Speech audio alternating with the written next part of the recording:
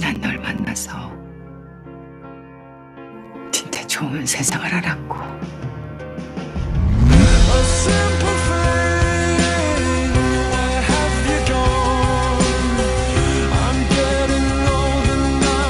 새로운 세상을 알게 됐으니까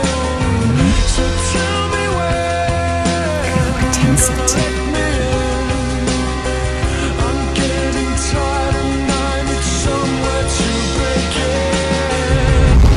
안 좋으시네. 만만치 않은데